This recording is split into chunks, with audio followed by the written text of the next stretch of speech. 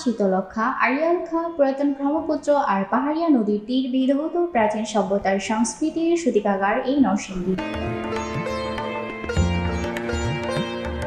এই জেলায় তিন হাজার বছরের প্রাচীন সভ্যতার ঐতিহাসিক নিদর্শন ওয়ারি বটেশ্বর, টঙ্গী টেক সহ আরও অনেক পূর্ণ স্থাপত্যের সন্ধান পাওয়া যায়।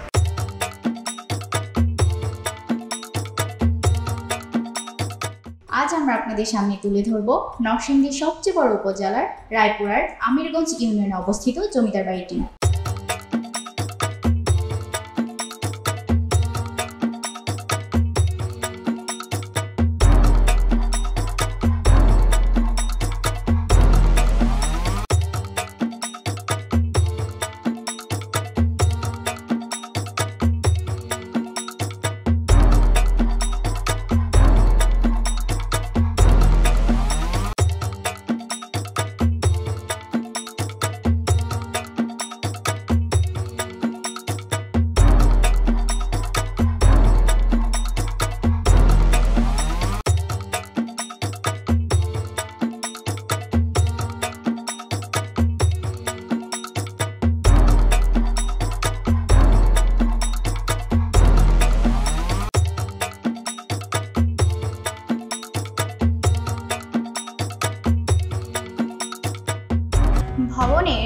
কাজ শুরু হয় উনিশশো সালে।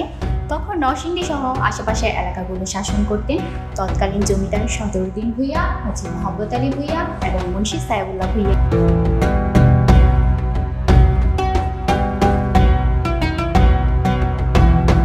পেশায় তিন ভাই ছিলেন পাট ব্যবসায়ী এবং বিভিন্ন কোম্পানির ঠিকাদার।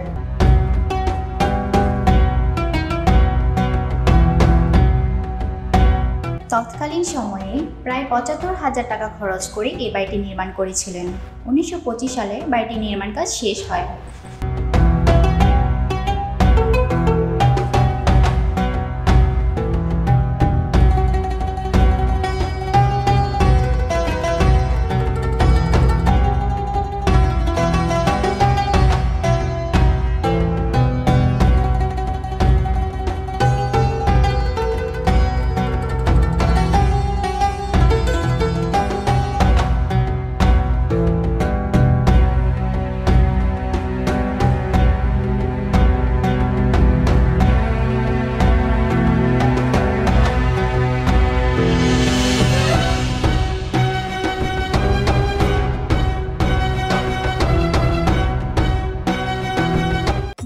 বর্তমানে যারা এই বাড়িতে আছেন, তারা জমিদার বংশধর হিসেবেই আছেন।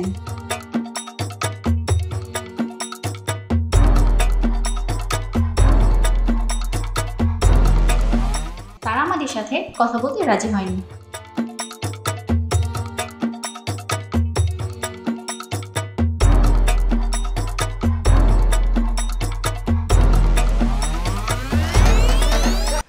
ভৌগোলিকভাবে ঢাকা থেকে নরসিংদী নরসিংদী থেকে ভৈরবের মাঝখানে অবস্থিত এই জমিদার বাড়ি। মূলত টঙ্গী থেকে ভৈরব পর্যন্ত তাদের জমিদারি প্রথা বিরাজমান ছিল।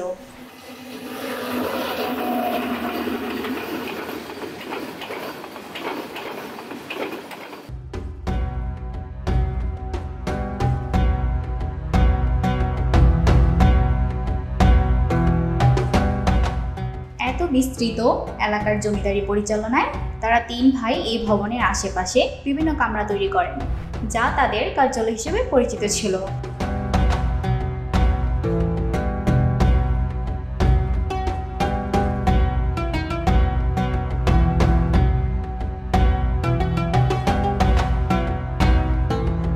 সদরুদ্দিন ভূঁইয়া সহ তাদের হাত ধরেই আঠারোশো আশি সালের দিকে অত্র এলাকায় জমিদারি প্রতিষ্ঠিত হয়। তখনকার সময়ে এই এলাকাগুলোর মাঝে বেশিরভাগ জমিতেই ধানের পাশাপাশি পাটের চাহিদাও বেশি ছিল।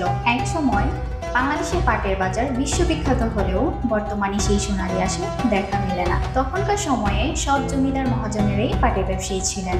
Narsingdi UMC jute mill Alijan jute mill পলাশের প্রাচীন বাংলাদেশ জুট মিল হাজিপুর বেঙ্গল সহ বিভিন্ন স্থান জুড়েই ছিল পাটের বাজার।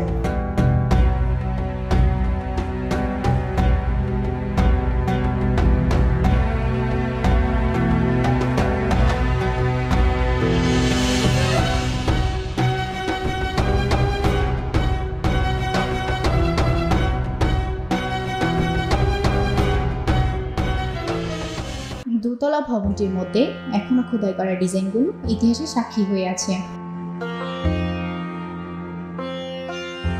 প্রাচীন ঐতিহ্যের হাতছানি দিচ্ছে সুবিশাল বিস্তৃত বারান্দা।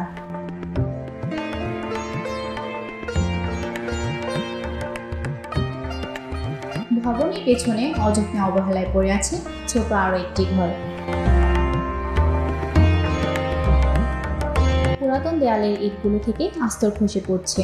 যুগজারে ছেয়ে গেছে পেছনের অংশটি।